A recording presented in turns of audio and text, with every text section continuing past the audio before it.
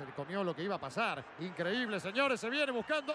Y ahora, papá, levántese, le dice el árbitro. A Freddy Vareiro.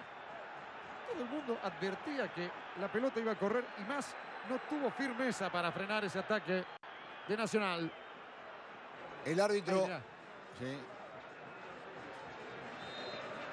El árbitro firme en la decisión, ¿no? Aquí vemos, sale el pase, qué buen pase, qué buen pase entre líneas.